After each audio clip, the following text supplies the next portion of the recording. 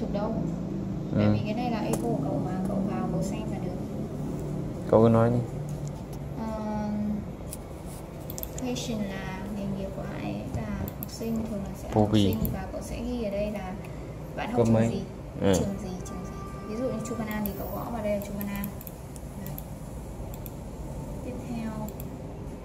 Working thì bạn ấy là hầu như đối tượng mình là học sinh rồi nên sẽ không có working Location. Hà Nội. Địa chỉ Ba Đình. cậu điền vào ngày sinh ngày tháng năm sinh. Tên bố mẹ tên phụ huynh. Xong rồi mình đã tư vấn những cái gì cho khách hàng rồi mình vào cột comment. Mình comment những cái thông tin mà mình đã tư vấn cho khách hàng.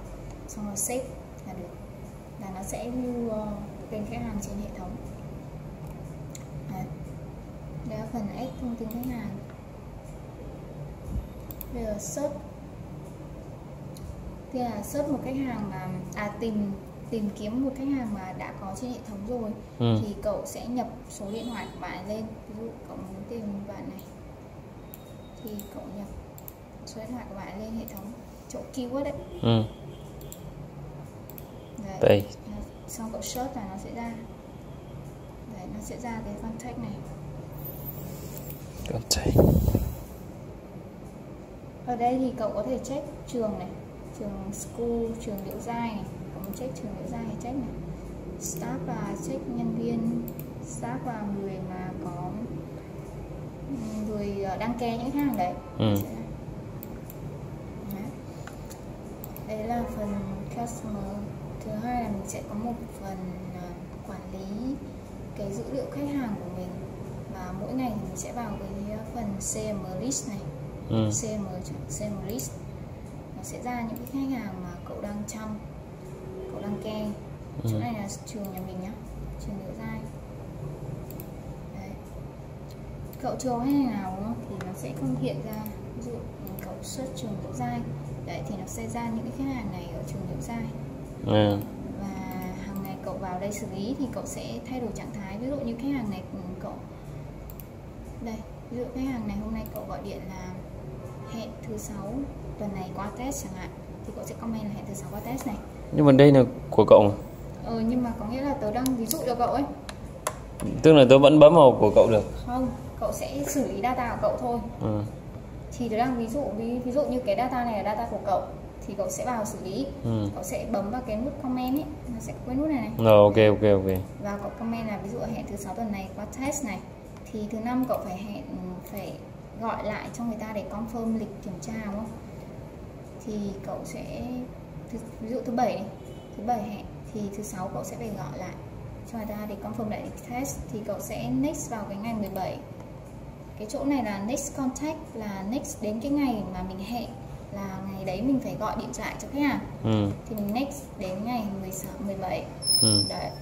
Xong chỗ cái phần content này là gọi lại confirm the test đấy xong cậu save là nó sẽ ra nó sẽ ra đến cái ngày mà cậu next đấy ví dụ tớ sẽ next đến ngày 17 nhá đấy hẹn test chẳng hạn trạng thái là hẹn test chẳng hạn Đấy.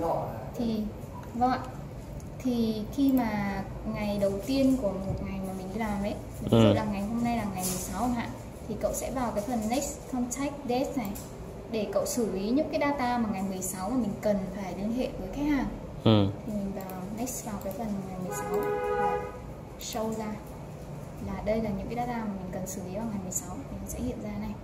Đây là data mà mình sẽ cần xử lý vào ngày 16 thì mình sẽ gọi lại điện cho confirm lại khách hàng theo cái thông tin mà mình comment đây. Đấy. Thấy không?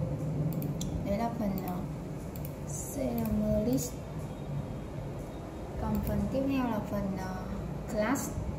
Cũng ở cái phần CM này vào class vào và class này thì, thì mình sẽ thứ nhất là tìm được tên cái lớp mà đang chạy tại cơ sở mình. Ví dụ như là mình sẽ có dòng sản phẩm là junior này senior này IELTS này TOEFL này. Thì ví dụ cậu muốn tìm cái cái lớp junior 1A chẳng hạn thì cậu gõ ở trên chỗ name này là 1A enter. 1A trường Liễu Giai nhé school là gõ trường Liễu Giai nhé Sự đúng không đấy thì nó sẽ ra những cái lớp 1A à nếu cậu tìm Junior cậu gõ Junior ừ. đấy thì nó sẽ ra là Junior là mình sẽ có những lớp này. Nó sẽ có hai mã. Một cái mã Junior mà có ngày tháng năm này là lớp đang chạy. Còn Ừ. cái mã waiting này là những cái bạn mà chưa học lớp Junior 1A mình thu phí vào và mình cho cái phí vào cái lớp waiting này. Ừ. còn lớp này với lớp là đang chạy. Đấy thì cậu sẽ vào cái lớp này. Cậu sẽ nhìn thấy là lớp này có bao nhiêu học viên này. Đấy có 6 học viên. Đang chờ. Ừ, lớp này lớp này thực ra là lớp này đã chạy rồi nhưng mà mình mình mình chưa được duyệt ấy.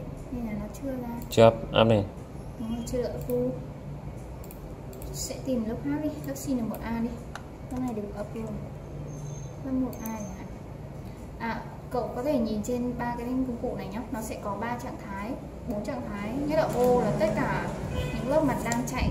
Ừ. đợi hoặc là lớp đã kết thúc. Nếu cậu muốn tìm một lớp đang đợi thì cậu vào waiting. Sẽ ra cái lớp waiting. là vào những cái lớp đây là on ongoing là đang học đâu đúng rồi ongoing là lớp đang chạy và close là lớp Ok. đã kết thúc rồi. Bây giờ cậu muốn vào lớp sin là 1 a chẳng hạn. Ờ, đang ở trạng thái ongoing đây. Thì cậu sẽ nhìn thấy lớp sin 1 a này đang trạng thái ongoing này. Và cậu vào lớp thì cậu sẽ xem được là số học viên của lớp hiện tại là bao nhiêu này. Hiện tại là đang có 10 bạn đang học à? Và lớp này đang chạy được bao nhiêu buổi rồi? Cậu có thể nhìn ở đây sẽ thấy này. Cái 19 này là cái số buổi mà lớp đã chạy. Còn cái 15 này là số buổi bạn đi học mà được giáo viên điểm danh ấy là 15 trên 19 buổi cậu muốn xem lịch cụ thể của lớp này, cậu vào phần này. Scan đấy. Vào đây cậu sẽ xem thấy là lớp này đang học lịch thứ mấy?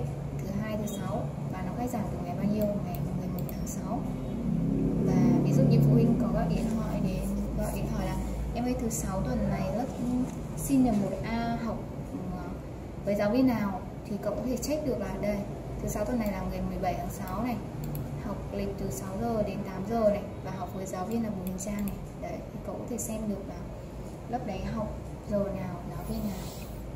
Và cái lịch này cậu có thể export ra để in ra cho khách hàng.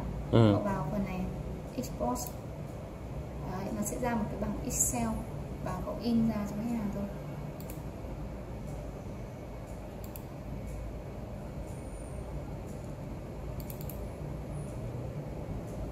đấy nó sẽ ra lịch học của lớp.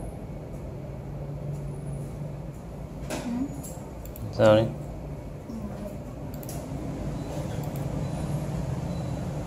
không được Máy này không Excel được Nó sẽ ra một cái lịch học ấy. Nó ra giống y như này này. Nó là bảng Excel Nó ra như này Đấy. ừ. Đây là phần xem lịch học Tạm thời là thế đấy Tạm thời là xem lớp trước Và trong này có cái lớp này vào cách ờ, tạo một mã lớp mới thì cậu vào phần uh, chọn add này Ừ. giống như cái phần customer ấy. ừ. vào chọn độ dai này product cái sản phẩm mà mình sẽ mở là ví dụ như là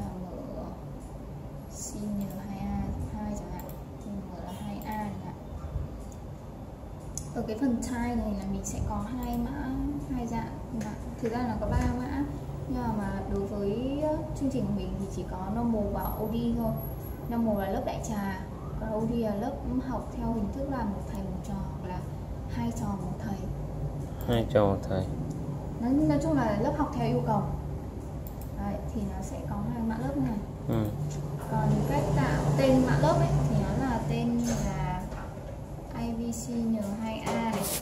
Nó sẽ có 18 này là số 5 2018 là 18 08 là tháng. tháng. 8 còn mã 11 là mã của nhà mình.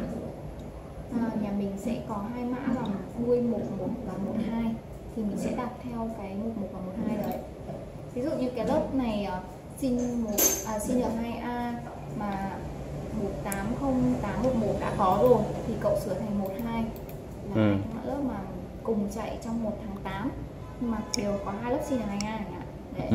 mình sẽ là một hai. Còn phí này thì nó sẽ ra theo theo cái phí chuẩn rồi. Ngày thì mình khai giảng ngày nào thì mình next ngày đấy thôi.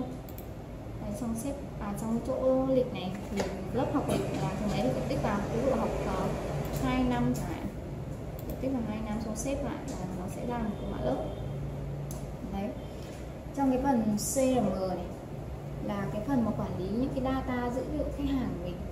Thì trong này cậu trước tiên thì cậu chỉ cần nhớ cái phần customer là cái phần mà để cậu add những cái contact mà cậu xử lý lên trên hệ thống thôi. Đấy hoặc nếu như nhớ cái phần customer thôi. Trước tiên là nhớ cái phần customer trước. Ờ, phần này thì ờ, cách tra thì cậu biết rồi đúng không? Ừ. cái add cũng biết rồi không? Thì tớ sẽ hướng dẫn lại cách mà mình sửa một cái contact khi mà mình ép một cái contact lên nhưng mà chưa đầy đủ thông tin, thì mình mình có thể, khi mà mình đã xin, lần sau mình có xin được thêm những cái thông tin của khách hàng ấy, thì mình sẽ mình sửa lại. Ví dụ cái phần này, mình, bạn này, bạn ấy ví dụ bạn này bạn này chưa có mail này, chưa có trường học này, chưa có tên mẹ này. Khi mà mình đã xin đầy đủ được, thì mình có thể vào này, vào hẳn tên của bạn ấy để mình sửa đấy thì nó sẽ hiện ra cái này mình add mail của phụ huynh vào và cái phần trường học và ngày tháng năm sinh bạn vào trong bộ xếp là nó sẽ sửa lại tất cả cái thông tin đầy đủ của em. đấy. trước mắt là cậu chỉ cần nhớ cái phần à, uh, CM customer thôi à, uh, CM và customer class thì cậu có thể tra được à, class thì uh, tra những cái lớp mà đang chạy tại cơ sở để ví dụ những khách hàng mà hỏi là hiện tại em đang em có cái lớp senior 2A không? Thì cậu có thể tra senior 2A hiện tại liễu sai có hay không? Đấy, ví dụ cậu lên đây thì cậu thử search là senior 2A chọn trường liễu sai, Đấy, cậu search. Nó sẽ ra ví dụ có muốn xem những lớp đang chạy online tại liễu sai thì cậu bấm vào này nó sẽ hiện ra tất cả những lớp đang online tại liễu sai thì thứ nhất đầu tiên cậu chỉ cần nhớ customer thứ hai là class để tìm được những lớp mà đang chạy và có lớp theo nhu cầu của khách hàng không? Thì mình sẽ tìm um, customer và class và xem một list nhé ừ. và những khách hàng mà cậu add lên thì hàng ngày cậu sẽ phải vào cái CRM list để cậu ờ, nói chung là chăm sóc khách hàng cái khách hàng đấy đấy là phần CRM list. Còn phần tiếp theo. là scale schedule này thì nó sẽ có phần start start này thì um, chị Hải add cái lịch làm việc lên trên trên cái Google Sheet rồi. Không biết chị share cậu chưa? Chưa. Ờ, thế thì chắc là sao vậy? Bây giờ cậu chỉ cần quan tâm cái chỗ view class schedule. Vào phần view class schedule này thì cậu có thể xem được lịch học của, của cơ sở liệu giai ví dụ như là ờ, hôm nay là ngày ờ, 16 tháng 9 ừ. thì cậu sẽ xem được lịch học của ngày 16 tháng 9 này.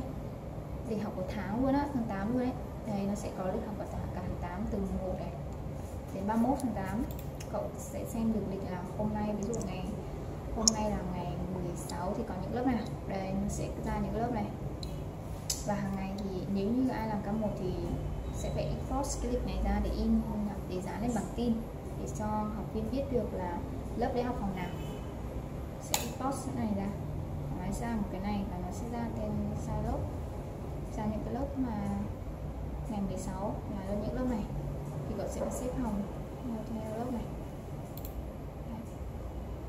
Thứ Trước mắt là cậu cứ um, nhớ một số phần class với class là tìm lớp. Thứ hai là customer add thông tin khách hàng. Thứ ba là view schedule schedule của ngày hôm đấy là ngày 16 có những lớp nào 17 có những lớp nào đấy. Thôi. trước mắt cậu nắm những thông tin Ừ. như vậy